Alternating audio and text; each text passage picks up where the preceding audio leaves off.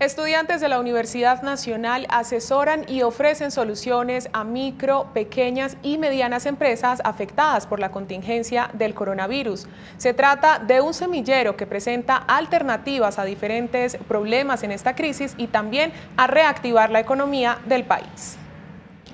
El semillero se creó para brindar herramientas a empresas que les permitan encontrar rutas y estrategias y reajustarse a los cambios que están ocurriendo en los mercados.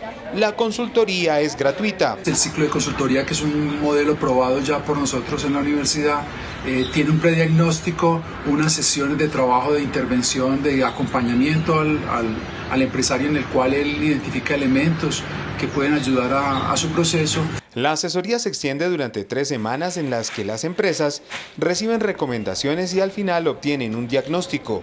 Pero ¿cuáles son los problemas más frecuentes que se han detectado? Presentan problemas de flujo de caja, mercadeo y gestión de activos. Muchos de ellos en este momento se encuentran improductivos.